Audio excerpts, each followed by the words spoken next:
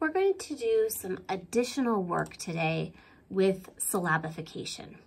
Remember, syllabification is the syllables that we hear in words.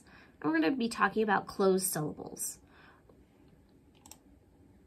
Every syllable in a word has one vowel sound. This is true.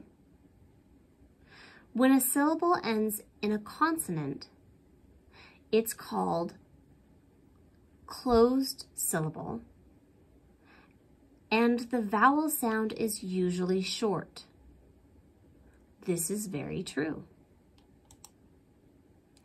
In words with a vowel, consonant, consonant, vowel, here's a pattern, the word is usually divided between the two consonant spellings, such as rabbit. So we have a vowel, a consonant, a consonant, and a vowel.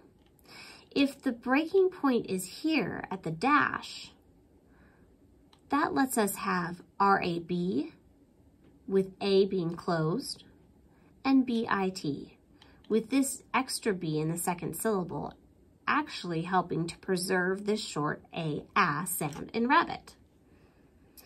Let's look at some closed syllables together. We can divide the word basket into two syllables.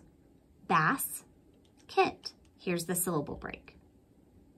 The first syllable, bass, has a short vowel sound. That means the A says ah. The second syllable, ket, has a short vowel sound as well. There's nothing at the end of t to influence the eh that we see here. Now put the two sounds together and say the whole word. Basket. Wow, nice work. Well, now I want you to do something on your whiteboards.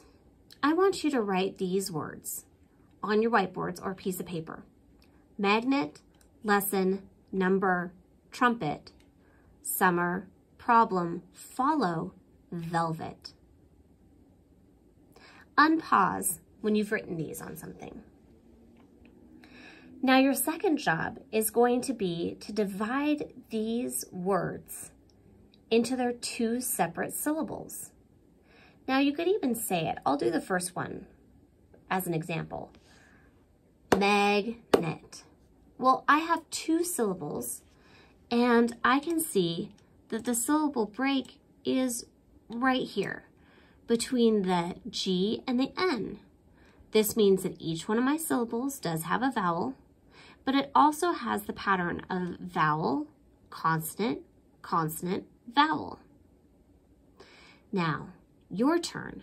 I want you to draw the syllable break in each of these words. You may have to read it or clap out the syllables to help you.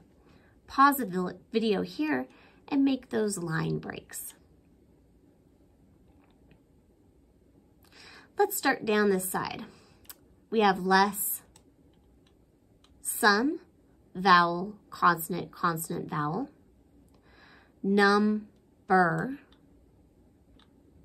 vowel, consonant, consonant, vowel with our syllable break here, Trumpet.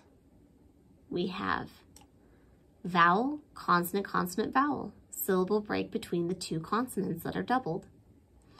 Let's check the rest. We have summer with the vowel break, the syllable break being between the two consonants. Problem with the break being between the B and the L. Follow velvet. How many of those were you able to identify? Nice job. And here's another example those same words, but spaced apart a little bit for you to see.